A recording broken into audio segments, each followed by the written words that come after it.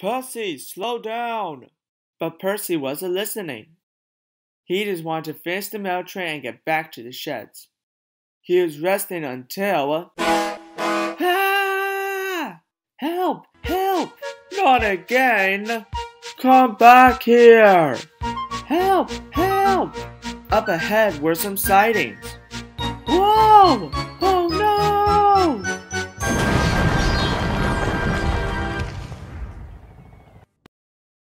Percy wasn't hurt, but his car had tipped over and mail spilled everywhere. It was much later when help had arrived to help Percy back on the rails. What happened, Percy? Driver says you had big fright. Yes, sir. And Percy told Sir Topham Hatt about the diesel. Hmm. It could be Daisy the diesel rail car, but she wasn't out and about last night. I'll have to think things through. And Sir Topham Hatt walked away. The news about the diesel spread across the island. All the engines were doing their best to be very careful.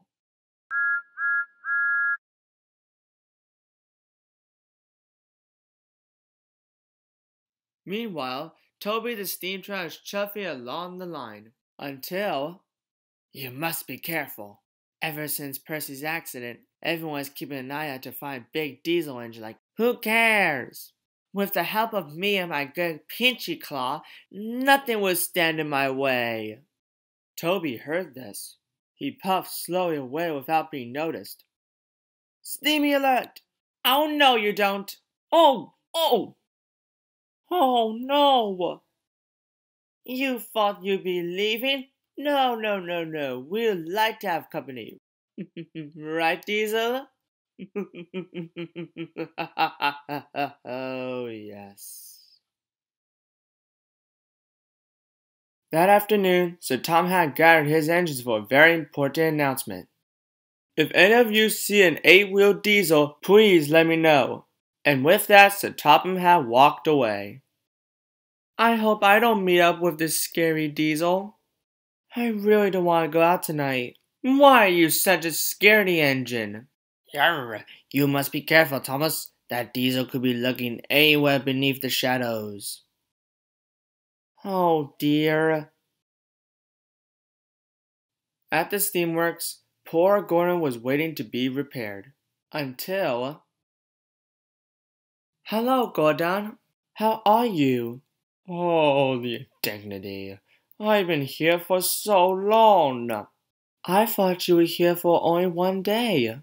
Sorry, Nia. I just want to pull the express again.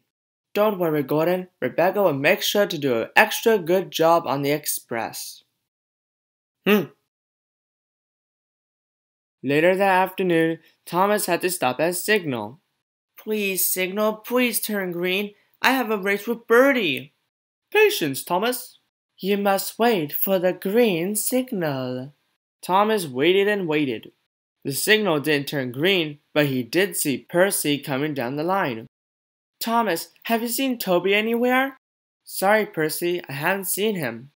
Oh dear, I have to find him. And with that, Percy puffed away. Thomas was puzzled. How strange. If Toby hasn't been seen, I must help look for him.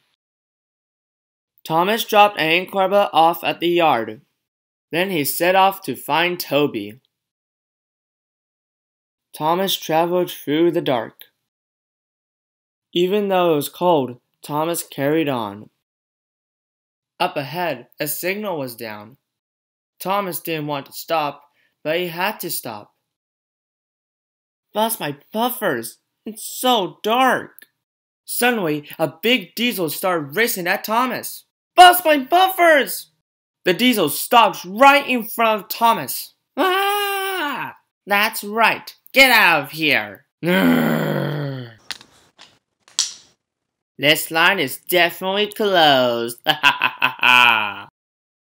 Whoa! Oh no! Thomas was then diverted Whoa! into a siding. Oh no!